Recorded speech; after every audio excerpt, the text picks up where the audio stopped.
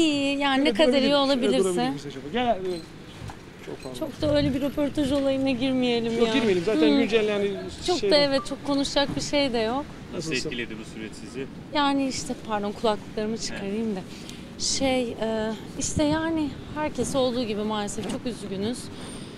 E, herkes gibi elimizden ne yapmak geliyorsa yapmaya çalışıyoruz ama tabii şimdi böyle demek de biraz insanı kötü hissettiriyor.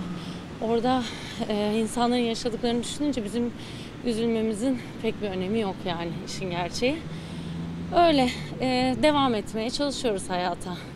Siz peki kendi evinizle alakalı bir şeyler yaptınız mı bu, bu Ee, İstanbul'da da? Yapacak Yani e, yeni bir apartmanda oturuyoruz işte biz. E, yapmadık işte e, bir biliyoruz yani biraz e, daha önceden hani bazı işte yönetmeliklere göre yapılmış. İşte ne kadar açıkçası yani herkes bir güvensizlik içinde olduğu için öyle bir soru işareti var herkesin kafasında yani. Sosyal medyada da birçok tartışma konusu oldu. İnsanların hayatına artık normal bir şekilde devam etmesi ya da bir süre daha böyle bir şeyler paylaşılması, etmemesi. Valla o kadar zor bir soru ki bu yani. Şimdi herkes için farklı herhalde. E tabii yani insan bir acı yaşayınca bir de bu kadar büyük toplumsal bir acı yaşayınca biraz e, bir birlik olma duygusu gelişiyor orada. E, unuttuklarımızı bir hatırlayalım istiyoruz. Orada da hani o birliğin içinde tabii birbirine saygı duyarak hareket etmek gerekiyor. Ama yani bir yandan da işte herkesin de her olaya verdiği tepki farklı oluyor yani işin gerçeği. Zorlu süreçte de yani birçok kişi reklam yapıyor gibi algılar oldu işte orada gidip fotoğraf çektirip geri Ya dönenler. ne böyle şeyleri konuşmak bile yanlış bence ya. Yani şimdi asıl konuşulması gereken bir sürü başka şeyler varken bunlar böyle birazcık detay konuşmalar ve birazcık da ayıp ya. O kadar çünkü büyük bir acı var, büyük bir mücadele var. Neyle artık mücadele edeceğimizi şaşırmış bir dönemdeyiz.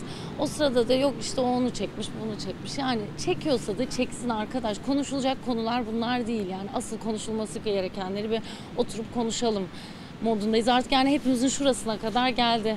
Eminim siz de aynı şeyleri hissediyorsunuzdur. Yani şu an bence bu duyguyu hissetmeyen kimse yok bu ülkede yaşayıp hatta yani bu ülkede doğup büyümüş olup yurt dışında yaşayan insanlar da aynı şekilde yani. Herkesin tek aklı, tek ruhu, tek kalbi e, şu anda burada olan olaylarda. Yani bir de birbiri ardına yani bir şey oluyor üstüne başka bir şey, üstüne başka bir şey. Artık yeter insaf yani. Hani vallahi gerçekten bir sabrımız çok taştı ya hepimizin. Hak etmiyoruz da yani bence bunları yaşamayı toplum olarak. Sizin var mı orada tanıdığınız arkadaşınız, dostunuz? Yani çok yakın bir ailemden kimse yoktu işin açıkçası. Uzaktan tabii tanıdıklar, annemin akrabalarından birileri maalesef. Ama böyle benim birebir tanıdığım kimse yoktu. Bunun da yani bir önemi de yok aslında. Yani oradaki herkes işte bir şekilde orada olduk hepimiz yani. Hepimizin ailesinden birileri orada oldu. Depremde e, işte depremzedeler, e, zarar gören aileler için koruyucu aileler, için, bebekler için, çocuklar için koruyucu aileler var. Sizin de böyle bir düşünceniz olur mu? Ne bileyim yani. Yani vallahi Veya bir şu önce an... olmak ister misiniz bir şeye? E, bu konuda yani neye bir etkim olabilirse orada yer almak isterim. Yani bence artık şu an herkes o psikolojide. Nereden neyin elimizin taşın altına sokabileceğimiz hangi durum varsa onun içinde olmak isteriz hepimiz. Bir de bu artık şeyi de geçti yani sanatçısı, işte müzisyeni, aydını. Hayır yani her türlü meslek grubundan herkes bir şeyler yapmaya çalışıyor. Yani işte benim cep telefonumda gruplar var. Yani o kadar farklı sosyal gruplardan, meslek gruplarından arkadaşlarım herkes kendi yapabildiği şey yapmaya çalışıyor ki onu da geçtik artık. Yani ben tabii ki yapabileceğim, yapmam gereken ne varsa yaparım. Ama tabii o e, koruyucu aile olma meselesi bence birazcık da e, üzerine çok düşünülmesi ve e, zaman geçirilmesi gereken bir şey.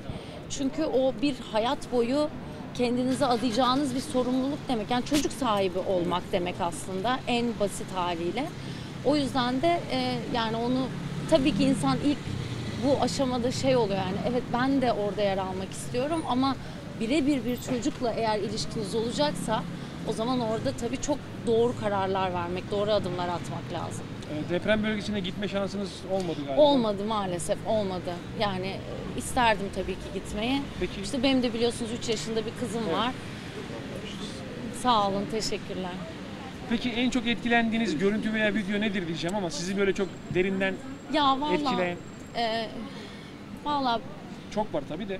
Çok var ya. Bir de bunun üstüne konuşmak bile biliyor musunuz bana ayıp geliyor ya. Bunun üzerine konuşup işte şu beni çok etkiledi, çok kötü oldum demek bile bilmiyorum ki yani bana böyle bir Yani hassas- doğru değil gibi Hassas geliyor bir yanınız yani. olur yani sizi böyle çok daha çok Her şeyi çok etkiledi yani. Bütün okuduğumuz, izlediğimiz, e, gördüğümüz neyse anlatılan hikayeler hepsi çok etkiliyor yani ve şey yani tek bir şey örneğini de veremem. Yani onu böyle üzerine böyle anlatmak yani şey gibi hani böyle bir görüntüyü koyup üstüne müzik koymak gibi geliyor. Yani o da çok yanlış bence. Biraz o duyguları da çok da e, sömürmemek lazım. Yani orada yaşanan şeye saygı duymak çok önemli.